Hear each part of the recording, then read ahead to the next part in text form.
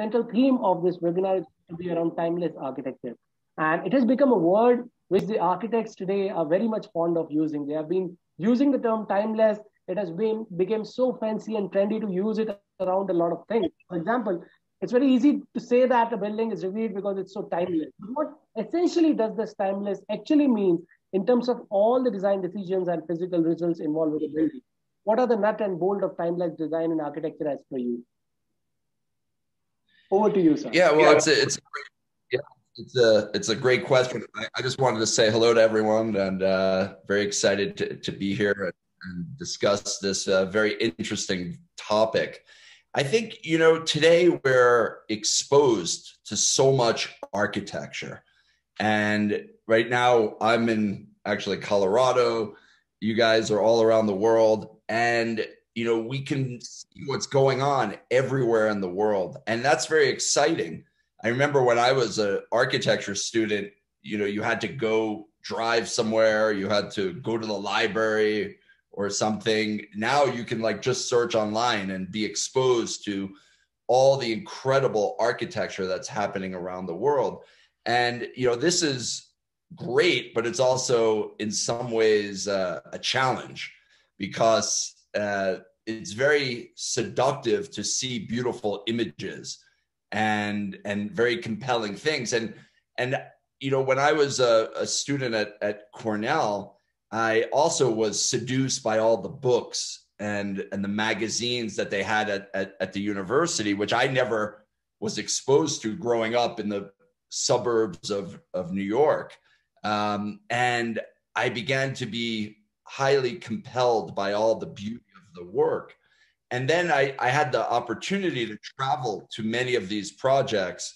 And I began to realize that it's not how it looks architecture that's one thing right you can have beautiful drawings you can have beautiful renderings you can have you know beautiful photographs but really what it's about is the feeling is the feeling you get in a place. And i learned very early on that you don't need to have something incredibly complex and dynamic to have a great feeling. And and feeling is all the senses right? It's it's the smell the taste the sound.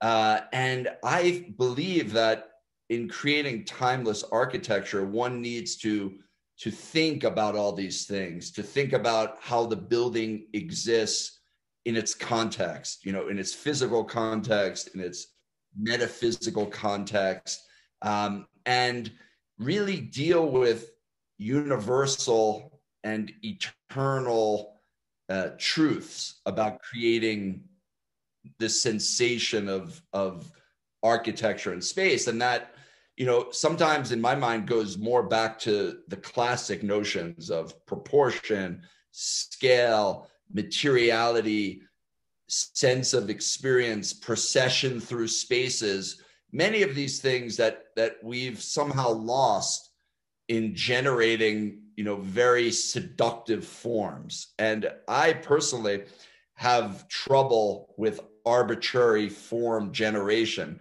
And I'm going to show you guys in uh, a little bit later in the talk uh, this struggle that we have, you know, because we are looking for that eternal truth. We are trying to uncover it, and it's not something that we know from the beginning. It's something that we have to find and discover. So it's uh, I'll I'll share with you how we how we go about that. That's that's great to hear. That um, it is something that kind of endures you to think about the basic functionalities of why the buildings are to be made at the first place rather than following the trends which are maybe perhaps uh, driven by market considerations or perhaps overtly uh, uh, being being possessive about the various forms which people would like to have. So, so in, in the essence, it tries to capture the, the, the basic necessity, the functionality which needs to be derived out of the building. Very well said. But, but my next question uh, gets to the same point which I've highlighted.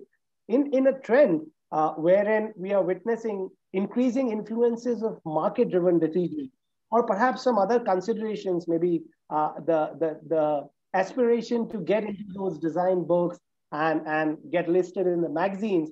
How does uh, one would like to uh, focus upon this timelessness in their architectural practice and design? Like, what is the importance or the necessity to, to stop and hold back at the moment and to start thinking about the timelessness of the design as well?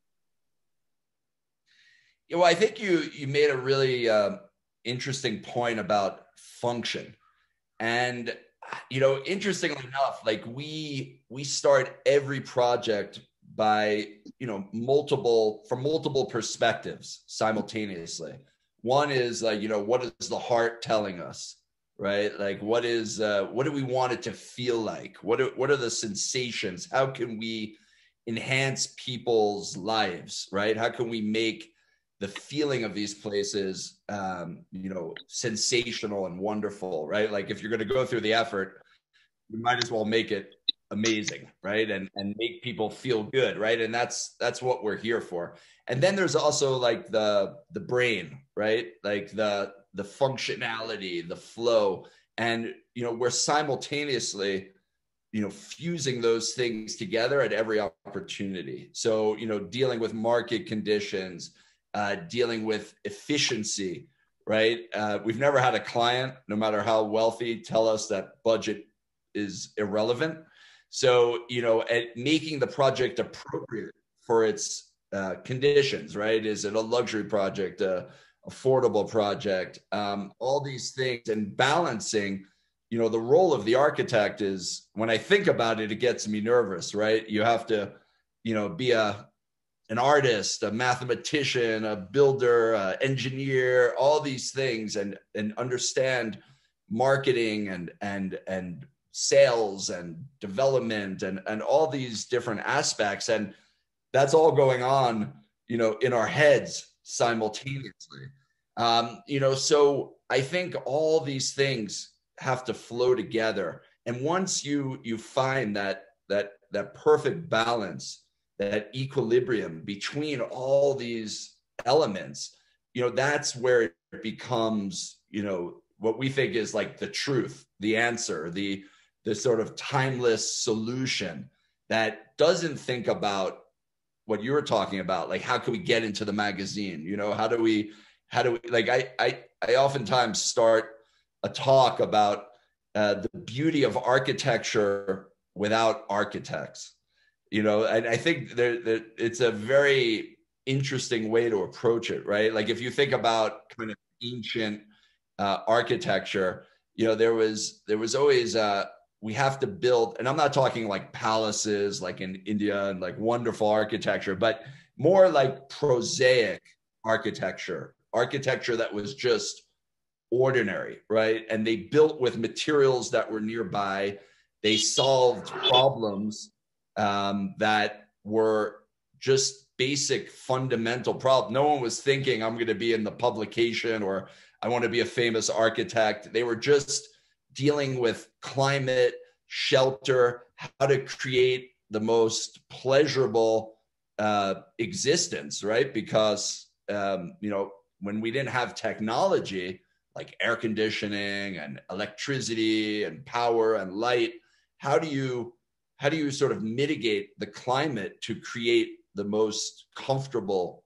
existence? And and i like to look at those types of architecture. I like to approach a project with those those eyes you know to see the way ancient people would see a project you know not about thinking about you know prestige and am I going to get a, a lot of uh, likes on the Instagram, you know, like, and, and is it going to be published? But thinking about, you know, solving these universal, um, you know, sensations of, of really mitigating climate and, and making uh, an environment pleasurable. So, you know, functionality is, is really the backbone of, of what we do. And, and it's funny because we have to, we have to prove it to people because you know people see the fantastic architecture and they think like well you guys you know you're crazy. You don't think about you know practicality and stuff. And i'm like no it's actually that's where we start. And uh you know and it's a it's a big we take it on as a as a big responsibility